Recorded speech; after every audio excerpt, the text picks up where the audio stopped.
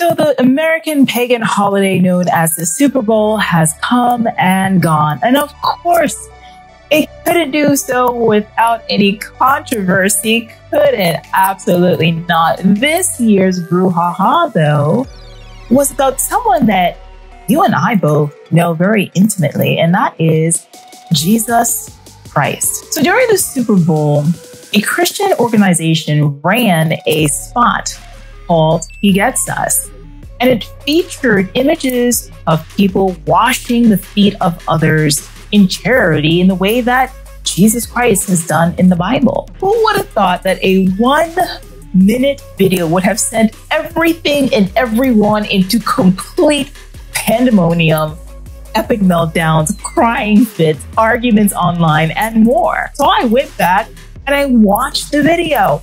And I gotta say, I have a different perspective than what a lot of other people are seeing over here in our Christian and Catholic space. And I want to talk about that today.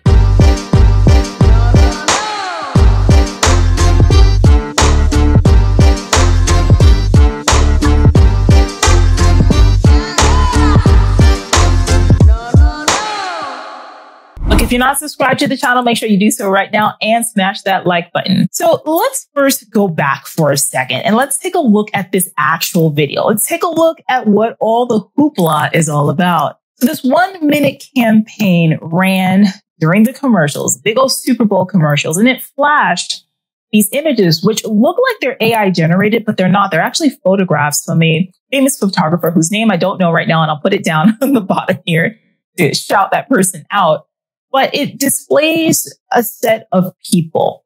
On one side, you have the Christian washing the foot of a sinner. So let's go ahead and check that out. I'm going to cut off the music because we don't need any copyright strikes here and put my own sounds. Okay. But let's go ahead and check out the entire commercial. So this first still is of a young man with colored hair, tattoos, and he's sitting at the foot of his father, washing his feet.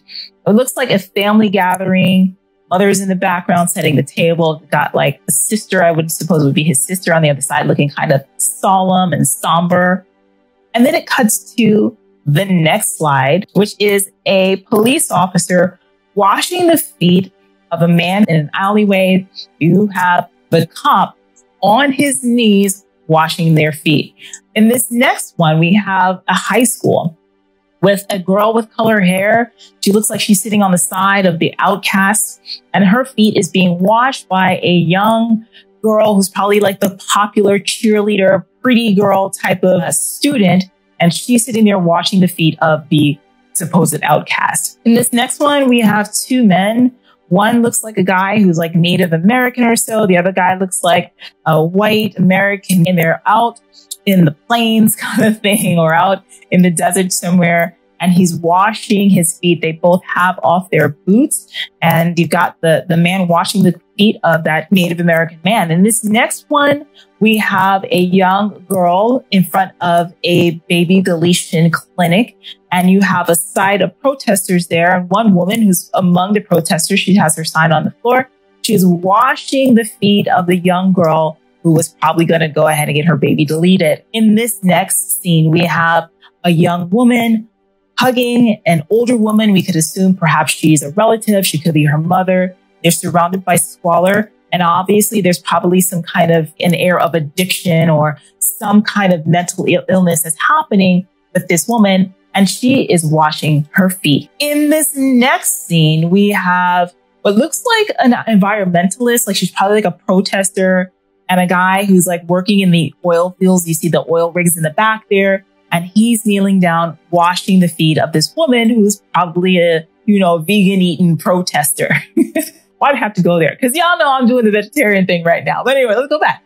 So in this one, we have an image of, this is one I thought was really interesting. We've got two mothers, right? A young mother holding a baby and she's obviously an immigrant coming off of a bus and the bus says Chicago. So they must have dropped them off from the border. You know, DeSantis sent them up there from Florida. So he dropped them off in Chicago and they're in the suburbs. And you've got this woman here who's sitting at the foot of this migrant washing her feet. And there's a very interesting correlation between all of these folks that I'm going to talk about in the moment that I think really got a lot of Christians upset. And in the next scene, we've got this woman, we have a couple actually, a Muslim woman, woman sitting down, having her feet washed by a Christian woman, we would assume. And her husband is sitting there in the background. Both men are looking on. That's an interesting thing right here, too. A Christian sitting there washing the feet of a Muslim woman. And in this slide, we've got two sets of protesters, and the signs say something like, he said, blah, blah, blah, blah, blah. So we can assume that they were like, let's say, opposing political parties. And between the two of them, two young women sitting in the midst of all this chaos, one washing the feet of the other. I thought this was a very touching slide as well. So we have two men sitting on a porch around the same age with both of their feet in that tub. So it's kind of like they, they're having like a moment of connection. It looks like their hands are touching and both of their feet are in that bucket. And it kind of reminds me of like, perhaps this is like somewhere in the American South where there have been racial tensions between these men and their experiences growing up, and there seems to be like a solace and a, tr- a, truce between them. I could be filling in all of that context that ain't really there, but that's what I see when I listen. Art is interpreted. That is what I see. Okay, let's go ahead to the next slide. And this one is probably one of the most controversial slides. Okay, so we got to go back to that because that went by real quick. You saw how they did that. This is the one that I think a lot of people went crazy over too. So you have this pastor or priest, however you want to see him, sitting down in what looks like Venice, California, because that looks just like the shores of our beaches here. You got the guy sitting on the bench who ha- who's in a effeminate kind of pose.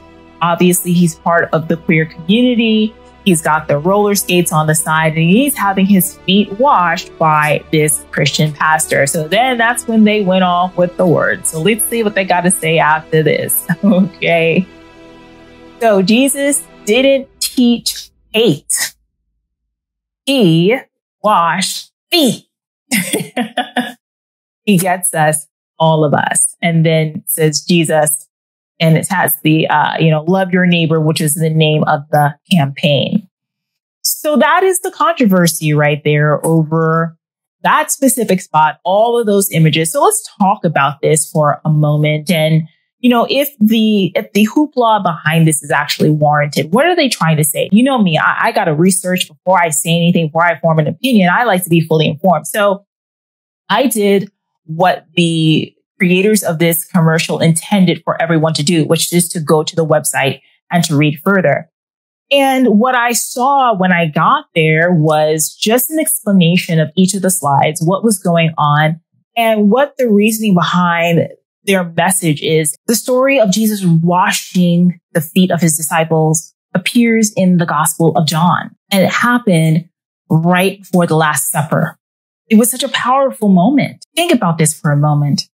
Jesus Christ, the God man, who was the word made flesh, who dwelt among us, lowered himself to be one of us to save us. We see him washing the feet of his disciples in John chapter 13. Every single one of them, including Judas the sinner who he knew betrayed him, who he knew was the one that would usher in his death. He did not turn him away. What a powerful sign, right? What a powerful symbol. I want to read the words of Christ before I go into my own opinions about this. And I want to skip over to John chapter 13 around verse 12. When he had finished washing their feet, he put on his clothes and returned to his place. Do you understand what I've done for you? He asked them, you call me teacher and Lord, and rightly so, for that is what I am. Now that I, your Lord and teacher, have washed your feet, you also should wash one another's feet. I have set you an example that you should do as I have done for you. Very truly, I tell you, no servant is greater than his master, nor is a messenger greater than the one who sent him. Now that you know these things, you will be blessed if you do them. That was the premise of that commercial. But what happens oftentimes with many Christians and even further for our audience, many Catholics, We have a tendency to gatekeep our faith. On the one hand, we want to see people celebrating him. We want to welcome them back into the fold or just welcome them to the fold if this is for their first time. But we often can't see past our own biases about people. The fact that these images cause so much of a stir and an uproar really questions whether or not people understand the words of Christ and what he's expecting of us. Do you know how hard it is to love your enemy? Do you know how hard it is to extend a hand to those that you do not agree with? Do you know how hard it is to humble yourself in order to see others without judgment? Now, that is not to say that we condone sin. And I don't even think that the commercial was saying any of that to condone sin. But in order to meet people where they are, you kind of have to see them for who they are in all their flaws and still be willing to preach the word of God to them unbiased. I can sit here and say that as someone who was in complete apostasy at one point. Now, I've never denied God's existence. I have never given up my faith. But there was a point, you all know, that I was not practicing my faith. I was not going to mass. I was not receiving the sacraments.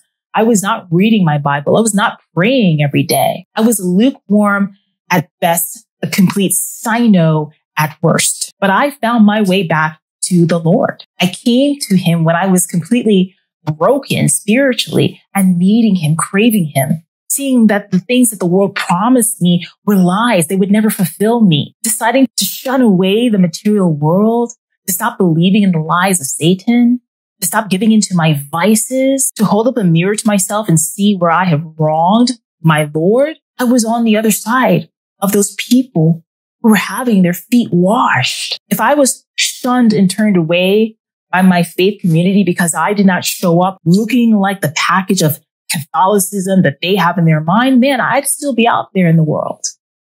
Who was this commercial for? Who was the audience? It wasn't for people like you and I. It was for people who are out there lost in the world who are looking for him.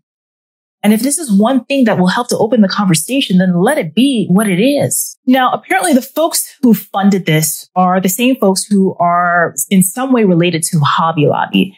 And if you know anything about Hobby Lobby, there was a landmark case here in the United States Supreme Court that ruled that Hobby Lobby in any kind of organization that's tied to any kind of religious identity or if the CEOs, the founders have anything to do with their beliefs as a part of how they serve the people, that they are allowed to stand on their faith and refuse to serve the public because they are privately held companies. These same financiers were also some of the ones responsible for backing and funding the case of Dobbs, which overturned Roe versus Wade. And there are a bunch of other things that they've lobbied for and more. And that's why you have a lot of folks who are more on the left who watch this commercial who are like losing their minds because it's like, look who these people are. They're just being a bunch of hypocrites.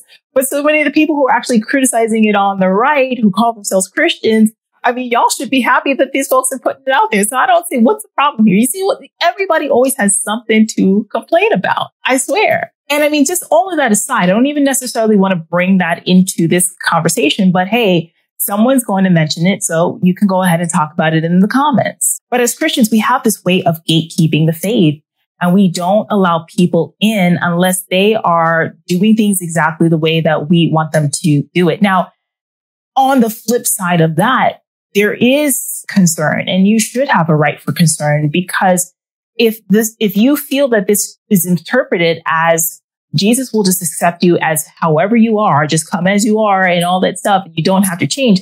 I don't think that that's necessarily the message that this organization was trying to put out by way of this commercial. It's just opening the conversation to say, Hey, Christ is here.